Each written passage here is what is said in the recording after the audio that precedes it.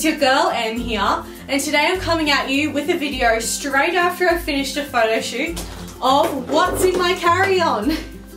So today I'm going to show you what I've packed in here to take on the plane to Wales. So this is what I would pack in a carry-on for a long haul flight. So this is a 30 hour flight.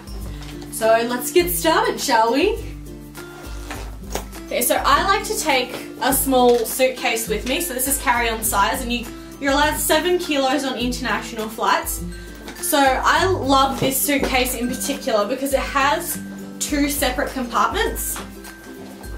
I hope you guys can see that, but it has this compartment here and then it has a separate like sleeves and everything. And then this part here unzips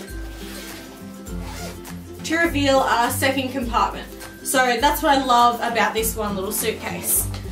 First thing that I have in here in my first side is my cameras of course. So cameras battery chargers and everything like that. And as well as the camera that I'm filming on that'll be going in there too.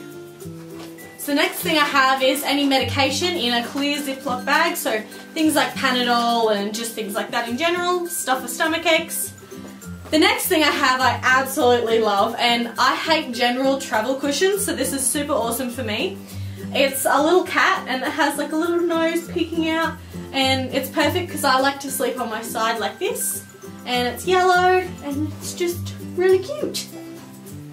The next thing I have in here also is a travel notebook so it's just a general notebook with a pen.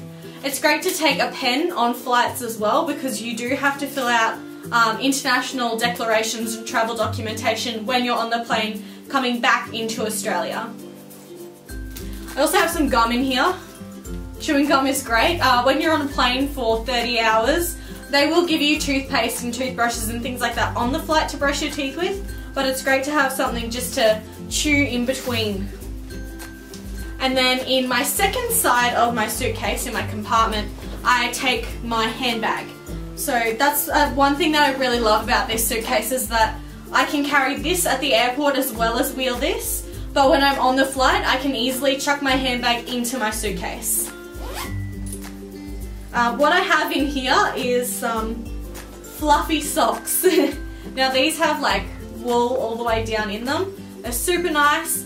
I hate, hate wearing shoes on the plane and I get really cold feet. So when you're up at high altitudes, the temperature is cooler. So I like to have some nice warm socks on me so that I can slip off my shoes and pop them on. The next thing I have in here is just this little black bag and in here I have um, things like tissues, um, my braces bands, a little comb and some earbuds for um, adjusting to pressure on the plane. So sometimes I have bad ears, especially if we're in a double decker plane. So I like to have those just in case. The next thing I have is my headphones. Now I really like my headphones. I think they match pretty cute with my little cat pillow too. So I have my copper headphones They've just been wrapped up from my last flight to London. So they're just copper like this and they're really comfy. and they block out the noise really well as well from other passengers or crying babies, things like that. So that is fantastic. The next thing I have in this little bag is just some earbud headphones as well. Sometimes my head gets a little bit sore from having big headphones on it the whole time. So I just have my little Apple earbuds and I also have this adapter plug. So I don't know if you guys can see that, but if you are flying anywhere, you will need an adapter plug for your headphones. Um, the headphone jacks on the plane are the two-pronged ones, so make sure if you're traveling anywhere to get yourself an adapter plug. You don't want to be stuck using the plane's uh, in-flight headphones Although sometimes they are pretty good, it's nice to have your own headphones, I reckon.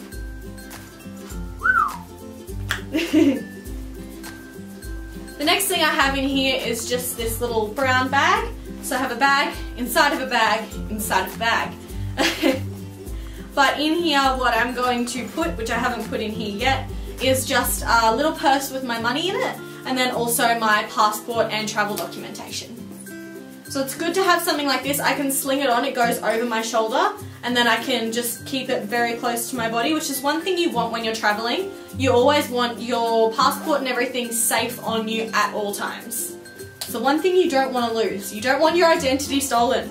Nobody wants to be me. Maybe people want to be me, but I want to be me. I only think me can be me. the next thing I have in here is just a bag, again with tissues, but if you're carrying any liquids in your carry-on, they have to be in a Ziploc bag. So just have some roll-on deodorant, no aerosols, guys. Um, I have some body lotion, just some moisturizer. Sometimes your skin can get really dried out on long haul flights. I have some lip balm in here, I have some tissues, I have some hand sanitizer. Always want to make sure you have hand sanitizer on you because germs and disgusting things. I'm actually contemplating getting a face mask for this flight because the last flight I did actually get sick on and like caught germs so a lot of people do tend to wear face masks and we thought that was silly but it's definitely worth buying one and popping it on risking the one or two hours of looking like crazy germphobe to save getting a cold and spending a week out like sick or away from school or work so definitely thinking about getting one of those.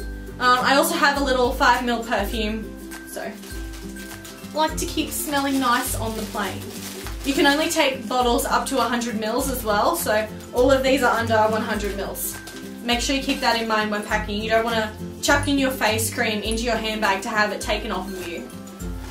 The next thing I have in here is some QV face cleansing wipes. So this is the same as the face wash that I use. Um, they're for sensitive skin because I do have quite sensitive skin. And um, there's 25 in here and they're just little towelettes. So nice to keep your face fresh on the flight. The next thing I have in here is a selfie stick because you never know, guys, when I have to take selfies and update you. Can even put like my phone in here and camera and stuff like that to take some footage and record while I'm on the flight for further YouTube videos. So it's great to have one of these. We actually picked this up in Paris, which was cool.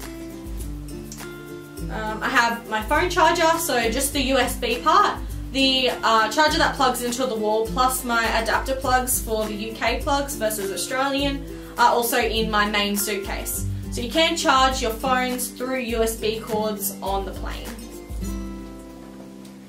I also have in here my um, travel safety, travel insurance documents, so keep those on you at all times if ever you get sick or have to go to the doctor. And I think that's pretty much it. so obviously I'll also have my phone in here and my iPad. I'm not taking my laptop with me on this flight because we're only over there for a week, so I don't really need my laptop with me.